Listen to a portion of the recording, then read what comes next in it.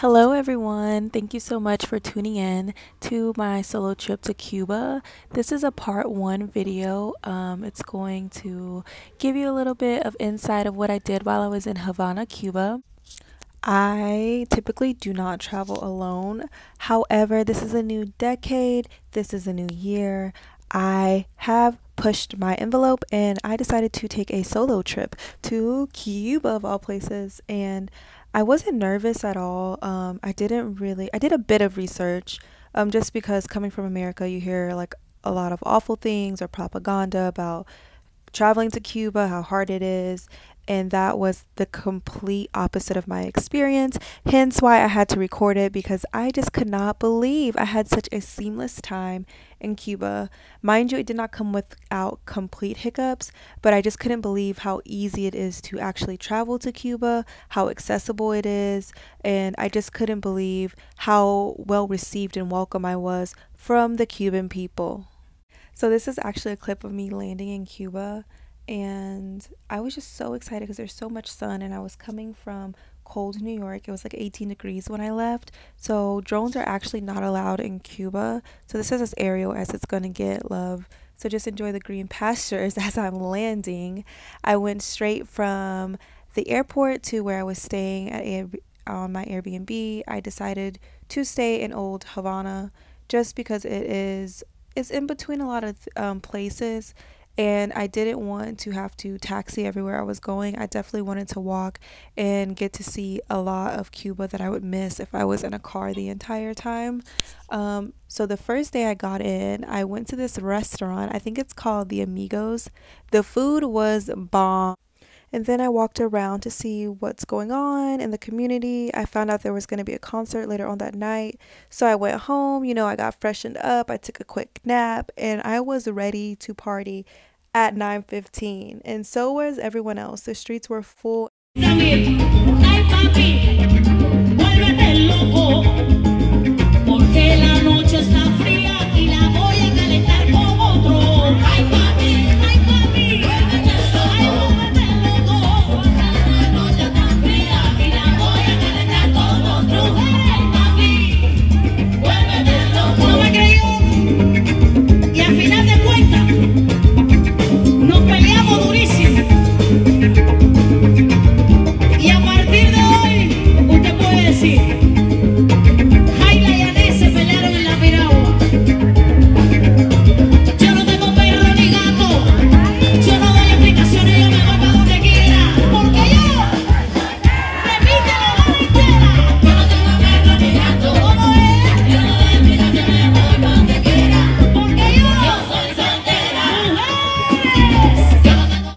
Said, the streets were packed, full of people dancing, singing, eating, just enjoying the.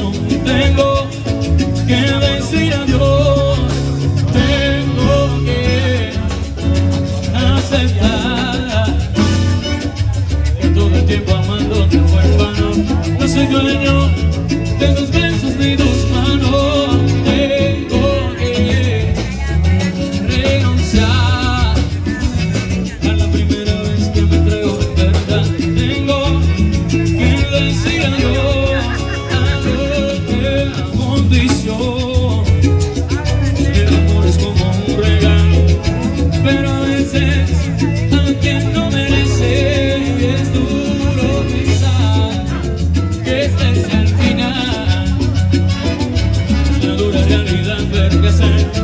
si no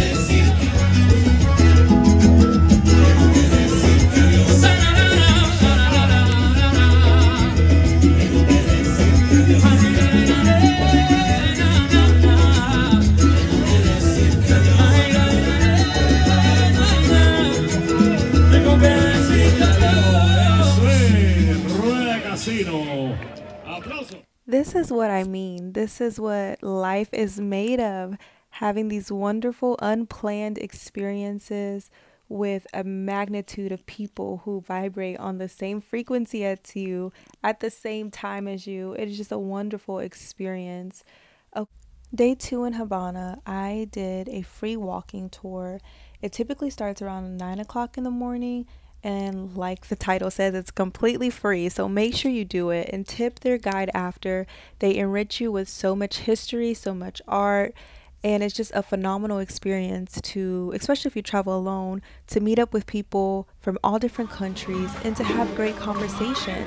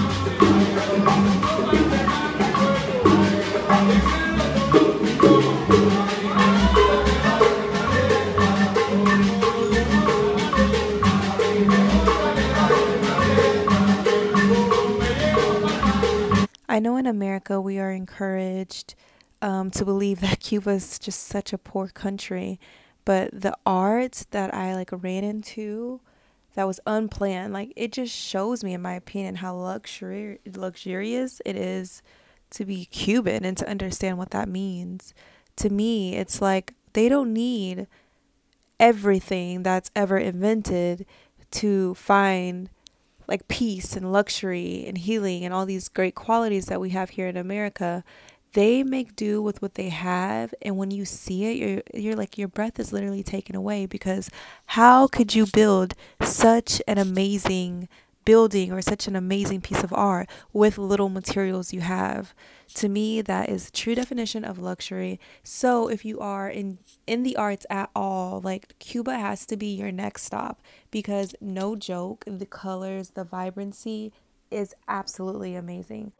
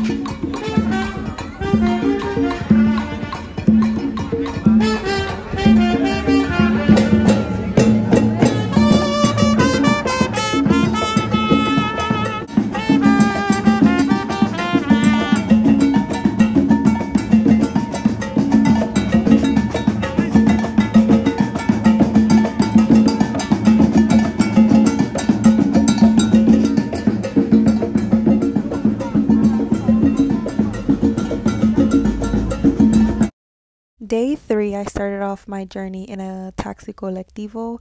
This is the best way to get around the city um, of Havana, or if you want to go between other cities such as Vinales or Trinidad, I would highly recommend um, seeing how much it would be to travel via a taxi colectivo because um, the other alternatives can be more expensive.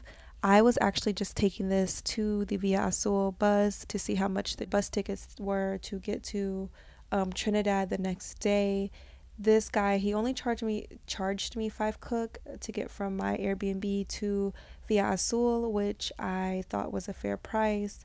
Um, he actually didn't stop to get any other people, so I was okay with paying five cook. But definitely, um, definitely explore taxi colectivos because they are extremely cheap. You can get places for one cook, literally. I wish I would have known about this before I paid for a taxi from the airport, but all is well. And also, these are old school cars. Okay, guys, so I've just bought my ticket to Trinidad, and it just happened up on Revolution Square.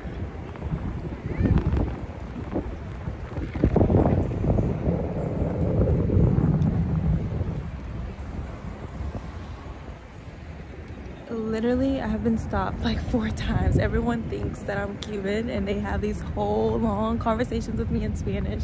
And like my Spanish is okay, but it's not Cuban great. Yes, night literally everyone stopped me to talk to me and I'm like, uh, your girl is from America and once you hear this Spanish, you're gonna put me in Spanish class because your girl is just I know little, okay? So after that, I went on a mission to find a forest that I heard was in the city of Havana, like in the middle of the city. I ended up being lost and going to a children's park. I have no idea how I ended up there, but I had walked for an hour, obviously to the wrong place. So I had to end up retracing my steps back to Revolution Square, where a guide helped me and pointed me in the right direction to the um, Parque Nacional. Um, I believe that's what it's called. And I ended up walking there from Revolution Square. It only is a 45 minute walk. However, because I went to the wrong location, I had been walking for almost three hours. I couldn't be more excited to see a classic car because you know where there's a classic car, there's a tourist monument. So I was super excited because that means I am not too far from the place I have been looking for. So I have trekked two, almost two hours to this beautiful forest and it is absolutely beautiful. Literally my skin is shining. Like this is beautiful. Look at that.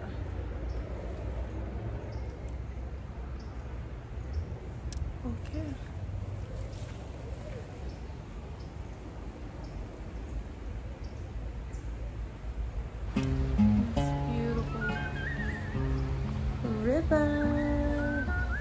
In because, uh-uh, ain't no telling, honey, ain't no telling what's up in there. But I did see other people swimming in there. I just won't be doing that.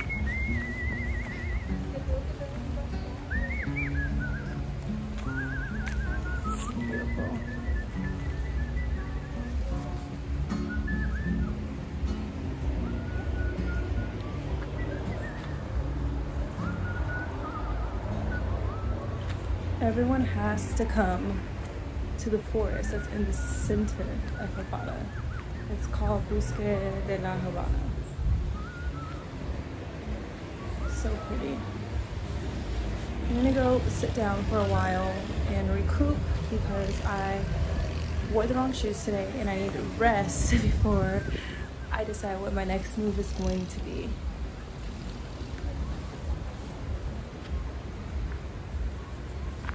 Stayed at the forest for about another hour and then I just explored the neighborhoods and you know just soaked up some of the whatever was going on. Yeah. I'm glad that I opened myself up completely to this Cuba trip because I was able to meet a lot of people. Um, I didn't stick to the tourist guides that's like posted everywhere on Google. Um, I just really followed my own path and I met this guy who gave me a tour of Cuba on his motorcycle. And the craziest thing is, he looks just like my little brother. And later on in our conversation, he was telling me that he has a sister that looks identical to me, which was so amazing just to hear. I have a doppelganger out there. I actually did not get to meet her, but I'll take his word for it because he legit looks like my little brother. And what you hear about the Cuban people being so kind, so nice, always having a smile is true. Like, I was so surprised at how many people were bending over backwards just to help me figure out where I was going, um, to like redirect me, to compliment me, or to just give me to give me um, recommendations of what I should do while I was there. This was not the only person who took the time out of their day to show me something special that Cuba had to offer, or I should be more specific, what Havana had to offer. He was actually taking me to this really famous um, I believe it's a hostel in Havana. It's called Mango Tree. And I went there because I was actually on my way to Trinidad and I didn't know where to stay.